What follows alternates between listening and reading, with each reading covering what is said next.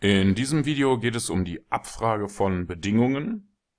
Immer wenn man automatisiert handelt, muss man bestimmte Bedingungen abfragen, beispielsweise ob der Stochastik oberhalb oder unterhalb dieser gestrichelten Linie ist oder ob sich der Kurs oberhalb oder unterhalb dieses gleitenden Durchschnitts bewegt. Und wir wollen in diesem Video einmal schauen, wie man das macht. Dazu klicken wir im MetaTrader hier oben auf dieses kleine Symbol oder drücken die F4-Taste, um den Meta-Editor zu öffnen. Und hier klicken wir auf Datei, Neu, Expert Advisor aus Vorlage, Weiter. Ich vergebe hier mal den Namen Simple If-Abfrage, klicke auf Weiter, Weiter und Fertigstellen. Jetzt sollten wir hier dieses Gerüst sehen und davon kann alles weg, was sich oberhalb der OnTick-Funktion befindet. Auch die zwei Kommentarzeilen werden gelöscht. Und wir starten hier mal mit einer einfachen Bedingung mit zwei Integer-Variablen.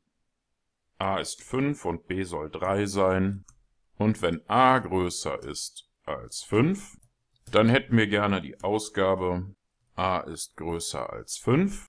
Andernfalls nutzen wir else und geben den Text aus, keine Bedingung trifft zu. Da fehlt noch ein T. Wenn Sie soweit fertig sind, dann klicken Sie hier oben auf Kompilieren oder drücken F7. Das sollte hier ohne Fehlermeldungen abgehen und in dem Fall klicken wir hier oben auf das kleine Symbol oder drücken die F4-Taste, um in den MetaTrader zurückzukehren. Und im MetaTrader klicken wir auf Ansicht, Strategietester oder drücken die Tastenkombination STRG und R hier rufen wir jetzt das neue Programm simpleifabfrage.ex5 auf und starten unseren Test.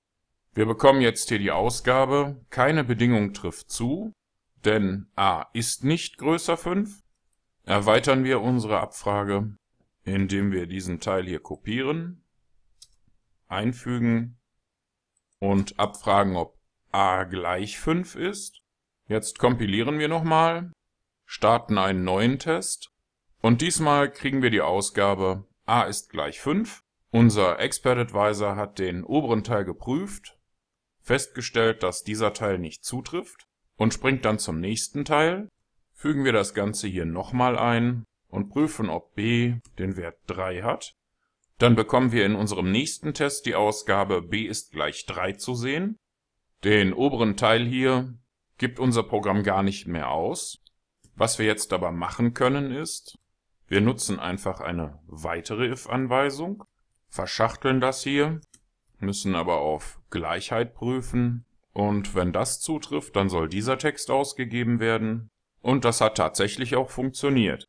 Man kann solche if-Abfragen mehrfach verschachteln und nur wenn alle if-Bedingungen als wahr erkannt werden, wird die Anweisung danach ausgeführt. Nutzen wir mehr als eine Zeile hinter unseren if-Abfragen, dann müssen wir Klammern verwenden, denn wenn wir diese Klammern hier weglassen und kompilieren, dann kommt es hier zu Fehlermeldungen.